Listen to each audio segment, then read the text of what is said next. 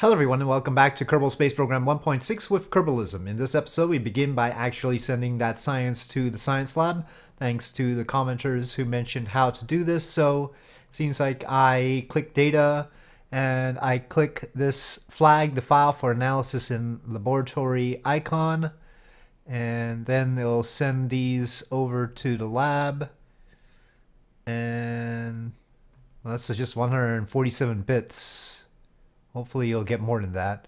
Or maybe that's what's actually being generated. Um, I would like megabits, thank you. But let's see. Lab material study. So the lab is actually working on the material study, I think it says. Okay, well, they're jumping on it. It's green. And power, power seems to be all right in the daylight side. Let me just see how much consumption there is at night because the science lab does consume power. We're not oriented perfectly to the sun. And our orbital period is 57 minutes, so that means 28 minutes or so in the dark. So we'll see if we have enough capacity. Wow. Wait, that's during time warp. Still pretty wow. Uh, you talk about, let's say, just to make the math simpler, 5 units per second. And in total, we're talking about 3,600 seconds per hour. So that's 18,000 per hour, but we're not in the dark for an hour, so it should be all right. So let's time warp on that assumption and see if uh, I'm correct. That's a pretty big mountain right there. I didn't think they were that big on Minmus. So yeah, we will have to do this. Yep, everything is all right. So Yep, that should be balanced, and maybe we'll get some science of it. I don't know exactly how it works, obviously, with uh, Kerbalism, but we shall see.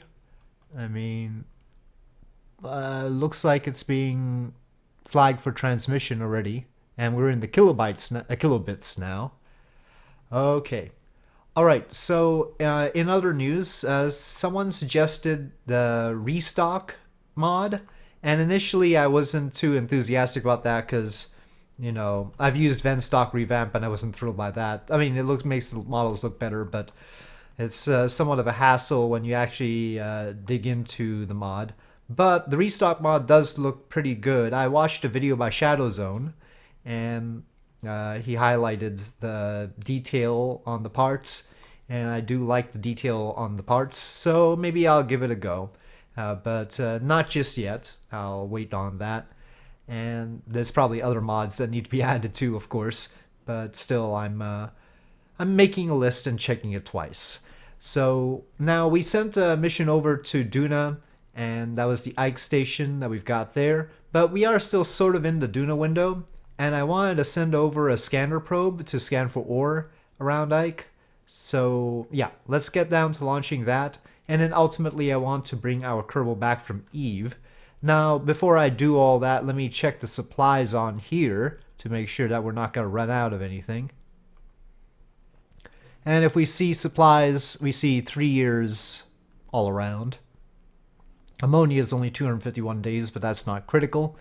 And probably that's lying to me anyway.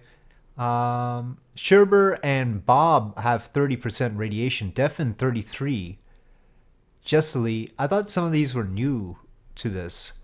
Now, uh, somebody proposed that the reason that our Kerbals got some so much radiation is because they were in a location without shielding. Well, let's make sure we put them in a location with shielding. This has full shielding in it, the mobile processing lab. So, in theory, our scientists who are in there should not be getting any any more than the minimum, right? That's that's got to be the minimum, whatever it is and I'm pretty sure that it doesn't uh, that uh, regardless of your distance from the sun, you get the same radiation. Uh, so that's that's an issue. And if you have full shielding, considering that it's advertised as 22 millimeters of lead, I I think that that's pretty hefty. And we should uh, go over that in the VAB and see how heavy that really is, how heavy the shielding really is. But okay, let me uh, transfer Jessely out of this pod, which is only half protected, into... Can we transfer her over there? Crew transfer interrupted. Uh, Jessely... Might actually be in here. Yeah, Jessie in there. It's always so confusing. Anyway, and that has full shielding, so that's the best we can get. Alright, uh, so before we launch to do the Duna mission, let's go to the VAB and take a look at shielding. Okay, so this is the command pod, obviously, the Mark 1-3 command pod, and by default, its mass is 2.759 tons. Now I'm gonna put all the shielding on, and it is 4.385 tons. Now that's an increase of ooh, about 60%, I think, uh, just off the top of my head. And that's pretty heavy when you increase the mass of a pod by 60%. Uh, I would expect that that would be able to block things pretty darn well if that's just the shielding. You know, uh, other forms of radiation shielding are like passing water through the hull, which would probably be lighter than 20 t- the 20 millimeters thick lead. But yeah, um, and I'm, I'm thinking about this in terms of let's say we scale this up to realism overhaul sizes. Well, realism, realism overhaul sizes means that uh, this pod would be scaled up uh, in length by 1.6 times, and that means in area, surface area, by 2.56 times, which means that you take the mass of this and multiply it by 2.56, which means this would be more than a 10 ton pod. Now, but by default, without the shielding, uh, 2.56 times that will probably be uh, 6 point uh, something something. Six, uh, I'm just doing this off the, top of my head. 6 point something something, which is about the same as an Apollo command module, and it'd be about the same size. And if you dump the shielding, you talk about 60% on top of the normal Apollo command module mass. So that's hefty. And uh, if we do that, if we decide to put that kind of protection on our pods, uh, I would like it to be very decisive in terms of keeping our Kerbals safe. You saw those Kerbals on Euphrates Station. They're sitting there, you know, getting 30% of their maximum dose of radiation. But hopefully we can send people out to Mars and such, or in this case, Duna, and it's not going to kill them but we'll have to see. So I'm thinking about that. And let's not talk about Jool. that's a separate issue. If the radiation doesn't scale by distance, then Jool is going to be a big problem. If it does scale by distance, then it's not so much of a problem. So we take a look here. Overall shielding 18.13, and the only shortfall there is because of the command module there attached to the station. The main station modules are all at 20. And uh, yeah, somehow Sherber, Jess Lee, Bob, and Defin all have 30% radiation. And if we take a look, I guess, um, I don't know if we can see Valentina's right now. It doesn't show Valentina's here in the VAB, unfortunately. But she's the most experienced Kerbal, I believe. Anyway, now let's launch that Duna mission so that I can get a scanner around Ike and we can hunt for ore. Well, we are getting a lot of data received, material study completed, messages. Lots of those messages. Are we going to keep just constantly getting messages like that? Do I have to turn that off too? Because they're not going away. Anyway, we'll see. And yeah, all right. Throttle up, SAS on, and launch. I mean, it says the Duna window is 22 days away, but we we launched one just recently, and it didn't seem to have a bad transfer time, so I think we can go. Now you can see that there's also a Jool window, but taking a look at our Jool probes that I already sent, you know, those four Jool missions there, uh, they're not communicating very well back to Kerbin. And I guess we have to unlock the most powerful dishes, because they already have the, like, second most powerful dishes, basically. And I guess we need to unlock the rest of... Ooh. Uh, unlock the even better ones, but that's gonna take 550 science. Well, no, uh, I think they're they're not even in the next science that we want to unlock, so it's gonna be a while. I'm really slow at turning here. Fortunately, lots of delta V.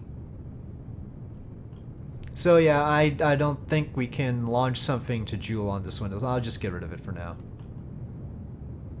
Okay, yeah, okay, those messages are really irritating me. Um, how do we stop this, this critical failures apparently? Oh, well, there's that reaction wheel. Um, config, um, battery, supply, signal, reliability, storm, script. Maybe it's script? It doesn't say science. Maybe if I go to the science lab I can turn it off. Okay. Upper stage and fairing set. Oops, confetti. So it's a cheetah, and then we have, uh, well, well, let's wait until space to deploy everything. It's just a scanner, we don't have other science on here. I didn't want to overburden it. It's uh, a one-trick pony, if you will. I thought about sending a Kerbal over to Duna, but I think we'll wait until the Ike station is in place. It'll be a backup location just in case the mission needs help. And I say Ike Station, but it might end up just being around Duna. We'll see. We have the contract for Duna after all. Okay, we are in space. Let's just deploy everything. It was a tight fit between uh, these antennae and the scanner. But hopefully I got that right. I hope I have enough electric charge when it's doing the main scan. We will see. Obviously, we need to put this into a polar orbit around Duna. Well, Ike. I don't know whether I'm scanning Duna or Ike first. We'll see. I want to scan both, of course. And we have 5,900 meters per second right now. 1,000 needed to transfer over to Duna after we get into orbit. Let me not forget getting into orbit this time. Okay, a bit lopsided, but it'll be good enough. Let's see. The thing is, it doesn't seem like antennae are additive. In other words, putting more than one on doesn't help with our communication. The missions that only had one antenna seem to be doing just as badly, or just as well, as the ones that have multiple antennae as far as the slot that are going over to Jool. Right? So they're around here-ish and they're down to below 20% connectivity. And that's why I'm not thinking I can launch more Jool missions. Yep, it's gonna be tough. And probably, I mean, if we lose all those missions, it's gonna be bad. But anyway, focusing on Duna right now. It's a mere 1,073 kilometer uh, meters per second, and seems like a good encounter. Looks like its nighttime power consumption is 0.5 per second. That's a bit rough. But we'll probably be putting it high enough around Duna that that's not going to matter. And uh, if that's the power draw, uh, each of these can supply 1.6. So even at the reduced power availability at Duna, it should be fine. Let's go. Uh, more or less. Okay, so once we get there, we're going to pull it in with a very minor burn. And I'll have to double check what the correct altitude for scanning is. And I guess we'll start with Duna. Why not? And then make orbit. And it's not going to cost a whole lot to do both of these burns, so We'll have plenty to head on over to Ike to do the scanning there. And we have the timing for that. So, let's get that alarm in. And we've got an Ike scanner on its way. Let's make sure the, uh, the um, sunlight is good. Yeah, that'll do. Okay, so I think I think we should time warp and get our Kerbal back from Eve. And of course, first we have to rescue that Kerbal on the surface of Gilly. But we'll get closer to that transfer window first. And since we're breaking orbit out of Gilly, we need probably a month. Uh, so that once we get into Eve orbit, we can time the return properly. Yeah. All right, so uh, we'll be short of a month, and then we'll handle that rescue operation. Poor little Kerbal's been waiting on the surface of Gilly for ages, just looking at up at the potential rescue vessel every time it passes over very, very, very slowly. Okay, we've time warped a bit, and here we are with Bill, and we need to fix the treadmill first. So there were other errors, but they were on the Jool probes, so we can't do anything about those. Uh, but there is a treadmill malfunction. I guess we have to actually EVA Bill in order to. Okay. Alright, repair treadmill. Alright, well that's done. Why is Bill spinning all over the place? Honestly. Oh, right. Bill might be a little bit weird, right? He's supposed to be maybe not in his best frame of mind. Does that cause a Kerbal to spin around a whole lot? I don't know. Bill looks really big compared to the size of the pod. I guess he'll fit. Okay. Yeah, how is Bill these days? 28% stress, 35% radiation.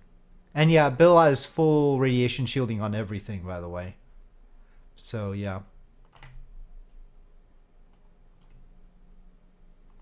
Okay, well, we have to find the Kerbal we need to rescue on the surface of Gilly. I guess we can just reverse our orbit and go down now. Or we can come back around. That'll be cheaper in Delta V. And maybe now, since we'll need to bring all of this back after all, we need to make, uh, because Romar can't fit into that command pod, we need to make sure that all this gets into orbit around Kerbin again, and then rescue Romor once we get into orbit around Kerbin. So maybe we should be sparing about our delta V usage. Why is the oxygen depleting so much? Um, uh, is stuff rebalancing? Is that why? Or do we have like a leak? One hour and 40 minutes of oxygen? What the heck? Okay, there's there's nothing else busted around here. Why? Why do we only have one hour and 40 minutes of oxygen? Does it say anything about a leak? Wait, they went up now. Or maybe it's because the suit is replenishing? The EVA suit? I don't know. I mean, 2.7 per second is pretty bad. I think it might be prudent for me to go away from the vessel and come back, just in case. I don't know if I'm just missing something, but definitely two hours of oxygen is gonna kill somebody. Mm, nope, it's back to just being two hours. Hold on. Now take a look at this. When I go to the tracking station and take a look at Gilly Mission 1, it says one year and 97 days for Gilly Mission 1. And really, it should be more than that, but we lost some just by looking at the mission while it was down to two hours, right? And so when we uh, go to Gilly Mission 1, then it switches back to two hours. I'm going to restart the game. I mean, ju just in case that helps. Otherwise, we're doomed, right? I mean, I don't know why we're doomed. Um, there's there's let me just check message log and everything. Let's take a look. Treadmill repaired. Uh, problem with engine on Jool relay, Jool orbital, treadmill on Gilly mission one. You know, lots and lots of data received. I uh, there's been no message about any sort of leak or any sort of problem with the oxygen system on our mission around Gilly. So yeah, let me just restart the game and see if that helps. Okay, we are here after the restart and once again the oxygen here says 1 year and 97 days and I'm going to go to you, uh, not to Euphrates station, to Gilly Mission 1 and see what the situation is.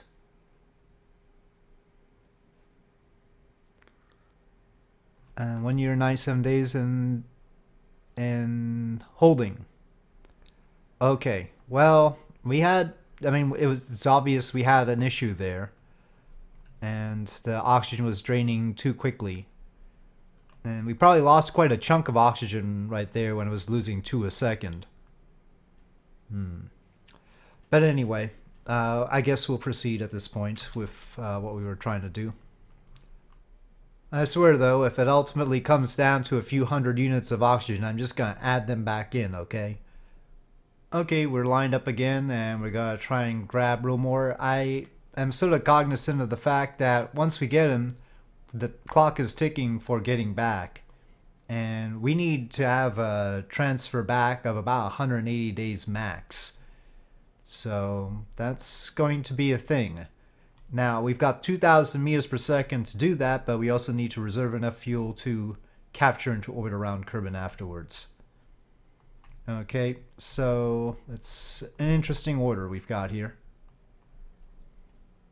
So is Romar on this side of the hill or on the opposite side of the hill? I can't really tell.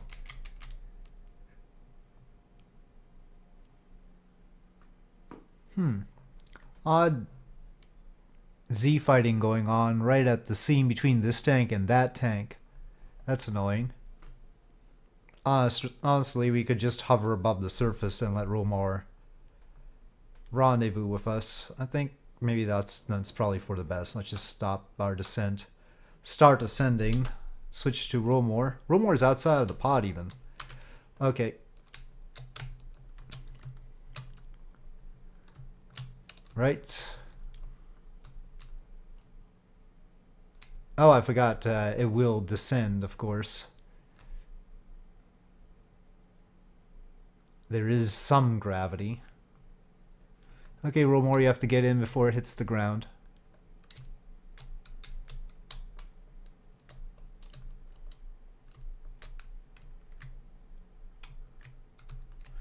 Come on.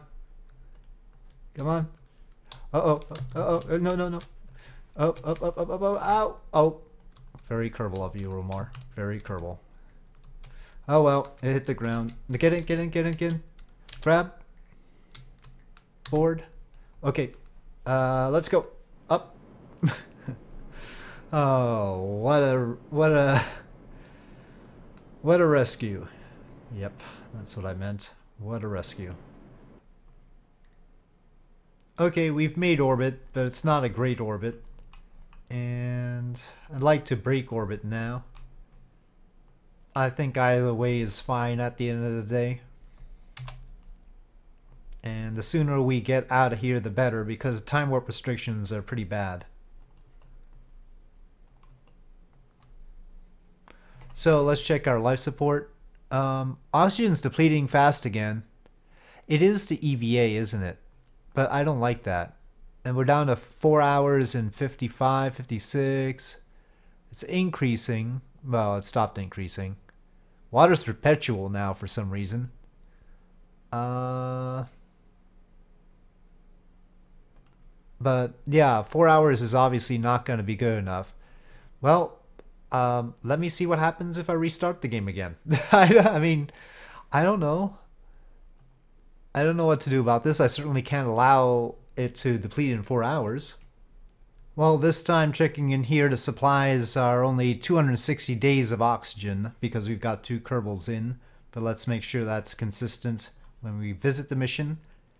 And it occurs to me, even if it's trying to replenish the EVA oxygen, uh, it shouldn't deplete that fast. One hour now. Uh, after restarting the game. And it's, oh, now it's 4 hours and 51 minutes.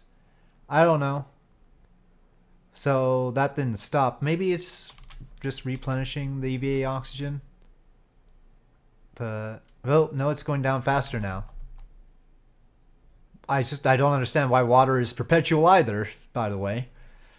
Um, one of the many weird factors. I mean, we do have a water recycler, but Sure doesn't read as perpetual when we are in the tracking station. What are we gonna do? Well, let me try and bring them out of Gilly orbit anyway. Uh, well, it's got that that that's gotta take 56 minutes. We've only got four hours, and it's going down really fast. Gosh darn it! Tracking station. Mm. Here it says 3 hours and 52 minutes as well. Okay, we restart again, and now we're down to 251 days there. What happens when we actually visit the mission is the question. So, back to the mission again. Here it still says 251 days, though we should have much more than that, of course. I mean, 290 something. Let me quickly take a look at the safe, the persistent file, and see if I can see what's going on. If I can't, I will have to end the episode. Yeah, unfortunately not. I couldn't see anything in the persistent file to tell me what might be going on here and why we have this leak. I mean, you could say it's replenishing the oxygen after the Kerbal went through the airlock, and that might be the problem, but it's taking a lot more than I think it ought to for that purpose and it's severely diminishing our ability to bring these guys back home safely. Um, yeah, and obviously just exiting the save and coming back in has not helped the situation. Uh, let me just visit it one more time. I mean, I'll I'll bring it outside of Gilly SOI first, and if I have to add the oxygen back in, I will. And what I do is add it at the same level as the food because I'm reasonably sure I put more oxygen than food in. But I just want to see what happens through this. As you can see, it's depleting faster rather than slower. The rate of depletion is increasing. Okay, um, other than that, electric charge is fine. Everything else seems to be alright. Nitrogen's actually improving for some reason. I don't know why, but yep, uh, can't really speculate. Okay, and you know, there's no other warning here.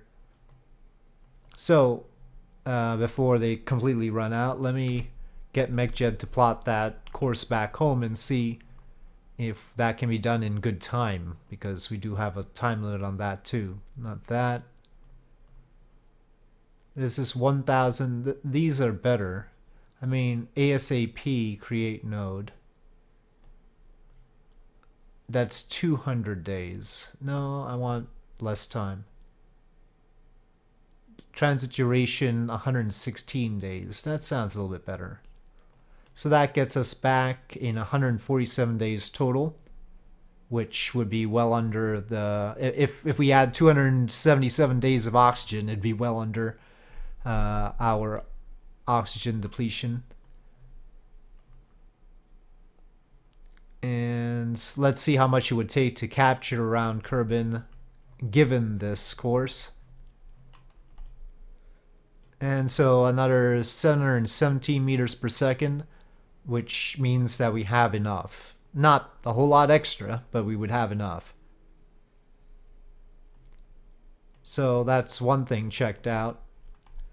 And now we have to worry about this oxygen. So sorry about the short episode, but you can see the problem here. And I need suggestions. I can manually add oxygen back in, but uh, I'm gonna have to keep doing that every few hours at this rate unless I can stop it from depleting. Of course, if it uh, restores like when I restart and it uh, says 200 days, as long as we don't look at them, I guess we it might be alright. But I'm not sure we've got this weird leak. Oh well, anyway, so with that being the situation, I'll say thank you for watching. I hope you enjoyed this video. If you did enjoy this video, please do press like. If you have any comments or suggestions, please leave them in the comment section below, and I'll see you next time.